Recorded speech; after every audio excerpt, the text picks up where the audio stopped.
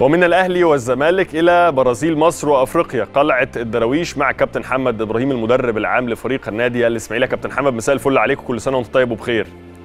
كل سنة طيب يا كابتن إبراهيم. ربنا يخليك يا رب ويكون بألف سلامة. ورمضان كريم عليك وعلى كل ربنا- يا رب إن شاء الله. ربنا يعزك ويحفظك. وفي البداية عايزين بس نطمن على صحة الكابتن إيهاب جلال.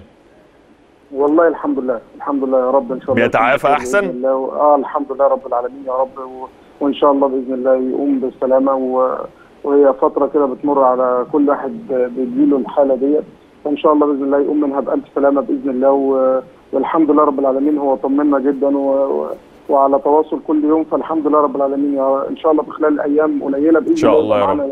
سالم غانم إن شاء الله. إن شاء الله ربنا يشفيه ويعافيه هو وجميع المصابين يا رب. آمين يا رب. كابتن رب. بسم الله ما شاء الله. يعني النتائج الأخيرة حاجة في منتهى الروعة وهي حاجة كانت متوقعة بصراحة مع قدوم الجهاز الفني الحالي بخط الكابتن إيهاب جلال. آه، ال- الطموحات بقى والتوقعات بتاعت جمهور الإسماعيلي نقدر نقول لهم إيه على لسان الكابتن محمد إبراهيم الفترة اللي جاية؟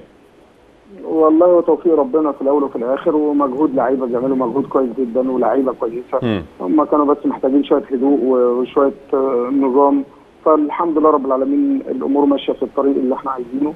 يا رب إن شاء الله وزي ما بقول هي واحدة واحدة إن شاء الله بس نطلع من المكان اللي إحنا فيه عشان اللعيبة تعرف تأدي براحة كده نفسية في الملعب.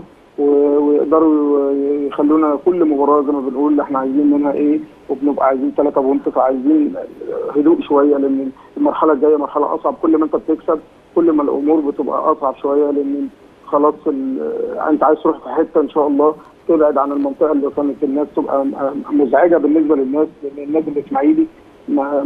يعني الواحد ما بيبقاش متخيل إن هو يبقى في, آخر فرق في الدوري فإن شاء الله يا رب يكون معانا التوفيق بإذن الله الفترة اللي جاية ونقدر نعدي بالفرقة للحتة اللي إحنا عايزينها إن شاء الله كابتن.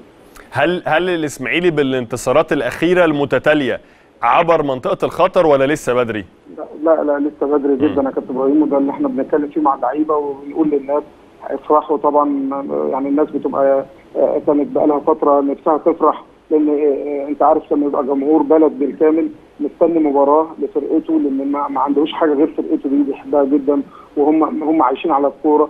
فأنت بتتكلم إن هم كل ما بيفرحوا لكن بنقول لهم بقى وأنتم بتفرحوا كده إن شاء الله.